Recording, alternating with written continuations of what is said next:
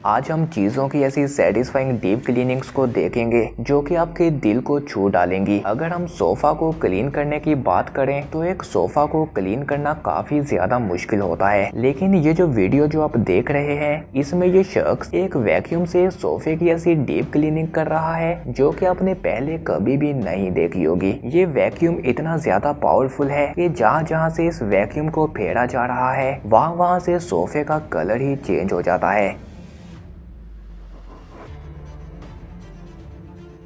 इस क्लिप में ये शख्स अपने वैक्यूम से इस सॉफ्ट टाई को क्लीन कर रहा है। और पहली नज़र में तो ऐसा लगता है कि इस पिकाचू का कलर ही ब्राउन था। लेकिन जैसे ही उसकी डीप क्लीनिंग शुरू होती है तो उसका रियल येलो कलर दिखना शुरू हो जाता है।